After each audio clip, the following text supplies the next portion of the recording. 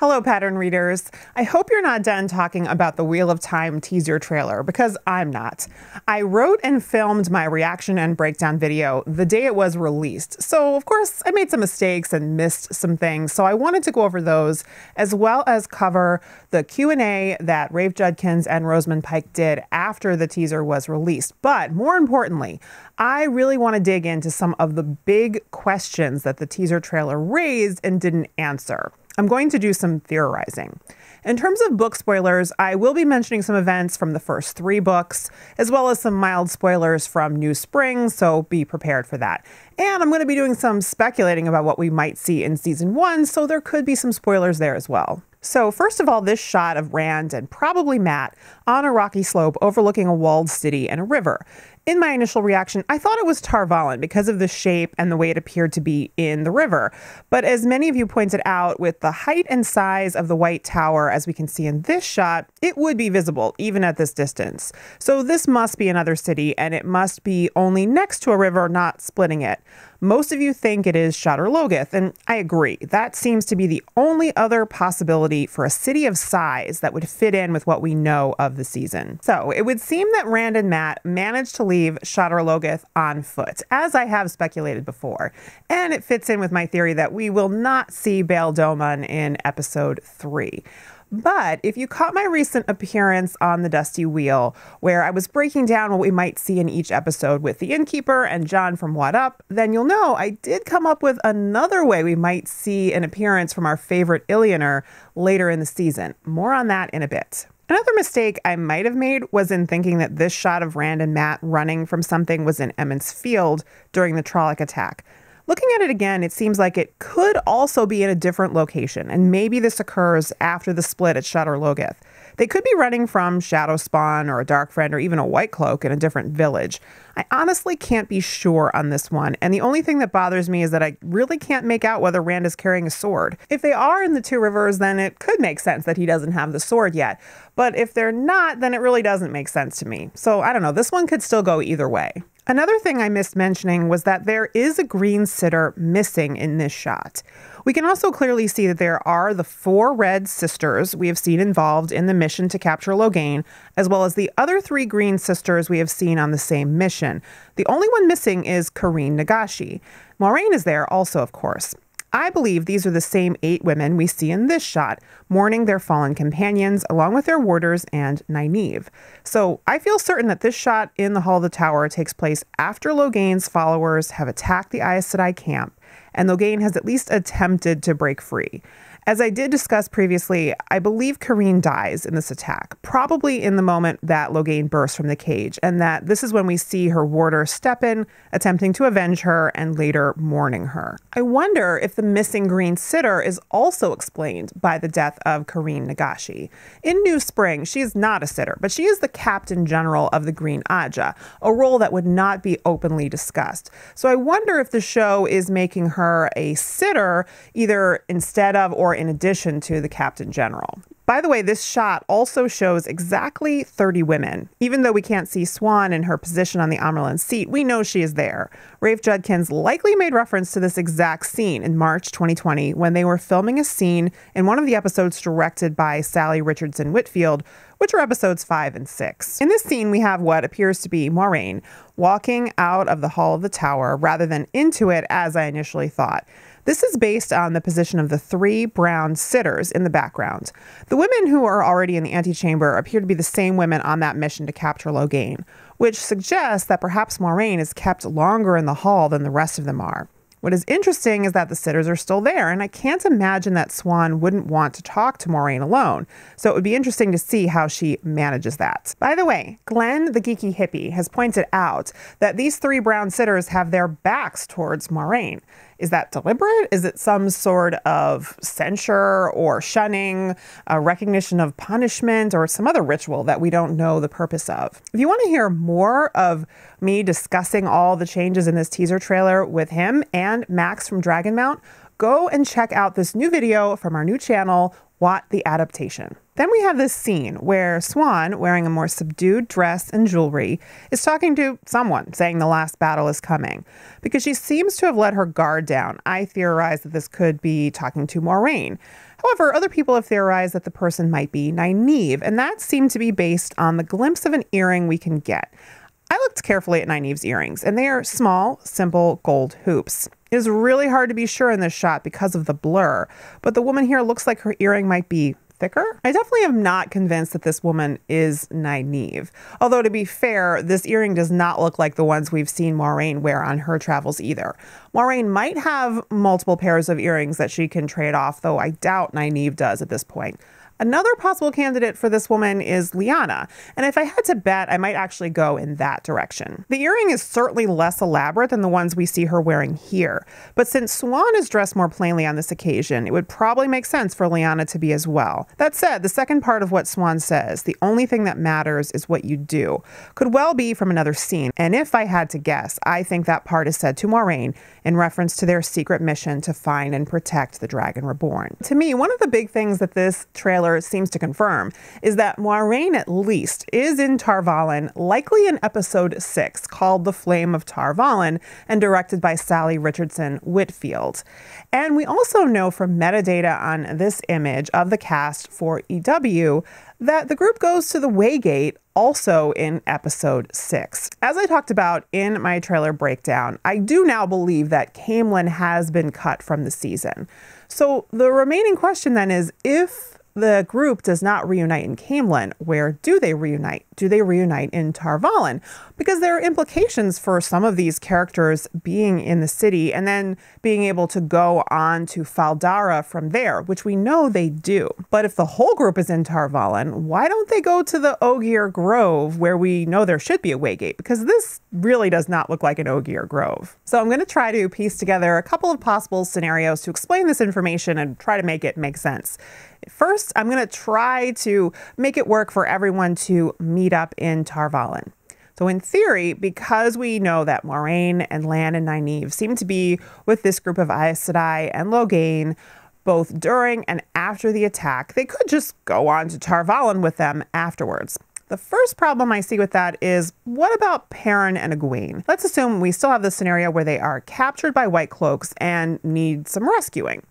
Now, it's possible that we can see that encounter of Perrin and Egwene with White Cloaks where Hopper is killed and then Perrin kills some White Cloaks, but maybe we don't have the subsequent capture. Or maybe they are captured, but they manage to escape on their own. Or maybe it's just wolves that help them. Or a slimmer possibility, maybe Aram helps them escape. I think that's kind of a stretch.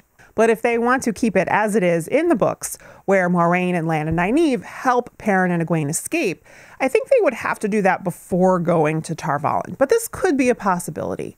Context clues suggest to me that the battle where Logain's followers are attempting to break him free likely happens in episode 4, The Dragon Reborn. And then that would mean these burial and mourning scenes are probably episode 5. What could happen at that point is Moiraine splits from the other Aes Sedai, agrees to meet them in Tar Valon. And that would allow time for her and Lan and Nynaeve to perhaps find Perrin and Egwene in episode 5, and then all the Tar Valon stuff could happen in episode 6. What about Rand and Mat? We know that Loial first appears in episode 5, and if we're sticking to the outline of the books, then Rand and Mat should meet up with him on their travels before they reunite with the others. Now, if everyone is meeting back up in Tar Valon, it makes the most sense to have Loial be in Tar Valon, probably still at Basel Gill's Inn. You know, he's there to visit the Ogier Grove.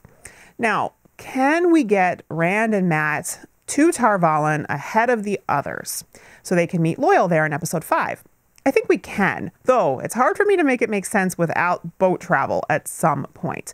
So I can see them making their way on foot from Shadar to a village and meeting Tom in episode 3, which is suggested by this unblurring of the script thanks to the Dusty Wheel.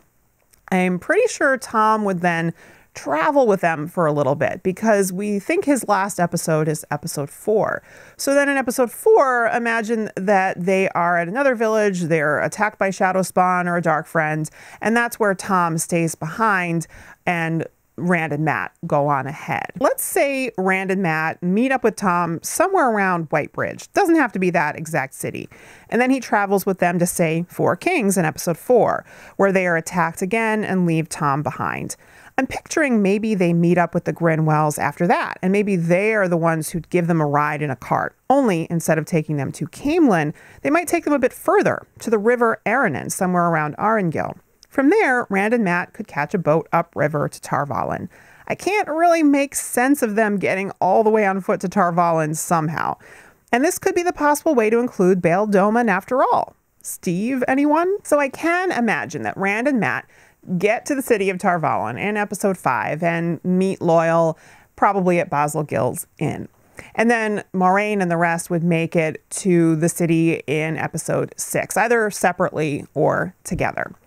Now, the one thing I feel really strongly about in this scenario is that Moiraine is the only one who should go into the White Tower itself. If Nynaeve and Egwene, for instance, stepped foot in the White Tower, it seems like they should not be allowed to leave without writing their names in the novice book. And then if they had, there's no way they should be allowed to go take a jaunt off to Fal Dara which we know they do from leaked photos, make it to Fal Dara, probably in episodes 7 and 8. So it seems like Moiraine should leave everyone behind at the inn. That's assuming there's already this plan to go to Fal Dara, and Moiraine knows that she doesn't want to be detained or have to leave anyone behind in Tar Valon. One problem I have with this scenario is if Moiraine has seen Mat in Tar Valon, why does she not immediately take him to the tower to be severed from the dagger?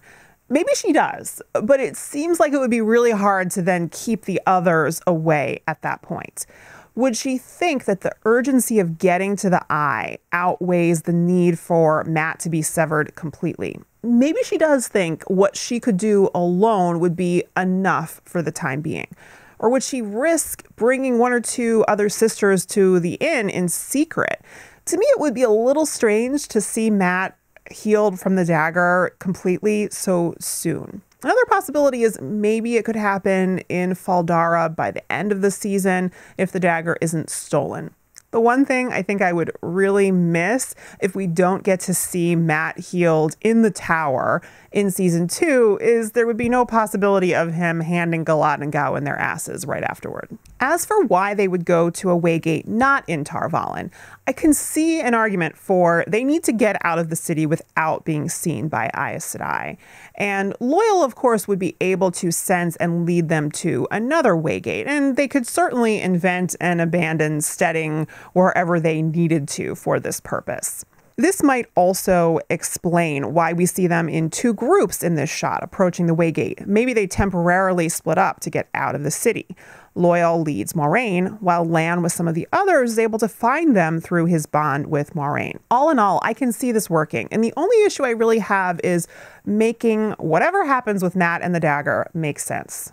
One possibility I like for this scenario is the chance that another Aes Sedai actually could spot Moiraine leading the others out of the city unbeknownst to them. It would be a perfect opportunity for Liandrin, who would be suspicious of Moiraine and might decide to follow her.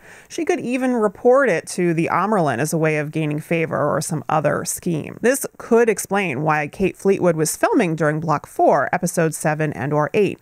We don't know if Sophie Okonedo was also filming in that block, but we think Kira Chansa, the actress who plays young Siuan, did film for that block, and it would be unlikely for her to appear in those episodes if Sophie Okonedo does not. So perhaps Moiraine keeps some information from Siuan in her quest to get to the eye as quickly as possible. And if Liandrin finds out some of it and reports to Siuan, it could give a reason for one or both of them to follow Moiraine to Fal Dara. Now, let's see if I can come up with a plausible scenario where all of the group does not get to Tar Valon. So, if Moiraine decides to go to Tar Valon with the other Aes Sedai, but to keep Nynaeve away and to continue their actual mission of finding the others, she sends Lan off with Nynaeve to go find Rand and Mat, who she can sense are nearby. Moiraine goes to Tar Valon, does her business, and then heads back south, at which point she comes close to Perrin and Egwene. rescues them. Now, Lan can find Moiraine wherever she is, so the two smaller groups reuniting at that point does make sense. This scene could then be their coming back together, but why would they go to a Waygate if they were not all together to share information and realize that they needed to go to the Eye? One group needs to have Loial with them in order to make the ways a plausible option. Based on this shot, maybe Loial is already with Moiraine near the gate. But that would mean he had been with Moiraine and or Perrin and Egwene rather than Rand and Mat, which seems less likely to make sense. Overall, while this option eliminates the tricky question of what to do about Mat and the dagger, it raises some other questions that I don't really have good answers for. Like, why does Moiraine go to a Waygate if she's only spoken to Perrin and Egwene at that point? And how does Loial come into the story, especially when we know he is introduced in episode 5? So I lean towards the first option. What do you think? On a somewhat related note, I know some people believe part of the ritual we saw with Egwene in the teaser, where she comes out of the water and has stripes of color on her face and dress, is part of a White Tower ritual such as the accepted test. Honestly, I doubt this very much. I see little plausibility for Egwene being allowed to leave the tower and go to Fal Dara if she only visits it, and much less if she is actually taken into the tower and immediately raised accepted. I believe that this is instead a women's circle ritual and that it actually occurs before Nynaeve pushes her off the cliff because we can see remnants of the paint on her dress here, and her hair is now braided when it had been loose in the pool. Now, let's run through some interesting answers that Rafe and Rosamund gave to the questions they were asked after the teaser trailer was released. I'll run through some simple ones first. Rafe declined to answer whether Egwene's ritual has to do with the one power or wisdom testing. He did confirm that people would be able to watch the show with their teenagers, which fits with the also confirmed rating of TV 14. And he revealed that the composer will be Lorne Balfe. We had heard a bit of his work in the logo reveal, but if you want more, I'll share some links for you. They answered a number of questions about the visual effects. Rafe shared that all of the VFX teams looking at the One Power were going off of documents of descriptions of it pulled straight from the books. Rosamund added, I needed to feel that you would believe Moiraine had this power if there were no effects. The most important thing for me was uh, that I felt connected to something greater than myself. Robert Jordan is so eloquent about what it feels like to channel the feeling of the one power filling your veins, the risk of it, the risk of drawing too much, and the necessity of respecting it and being trained to use it. Rafe also says he loved seeing how his initial vision for something was lifted and changed and made better by the people around him. So his favorite visuals were the ones that were better than he had imagined. I love this answer from Rosamund because I think it shows a good strategy for bringing out the actor's best performances. It's so important to have a living, vivid world inside your imagination where you are shooting sequences that will be completed with CGI. And the production has always made sure that we had plenty of visual references for how things would look as we went along. We have never worked on a set in which at least part of the world is not built. We have always had elements of the texture and atmosphere of the finished world to work with. She also said that when she first saw herself channeling, she felt like a badass and said to Rafe, I need this video of me shooting fireballs to show to my sons again and again. On the fade, we learned that it was primarily practical effects enhanced with VFX, which Rafe feels makes for a better visceral reaction. And while Rosamund was terrified by the lips and teeth and even the skeleton mask on the horse, Rafe just saw him as Dan goofing around on a horse. Rosamund also seemed quite impressed with and terrified by Shadar Logoth.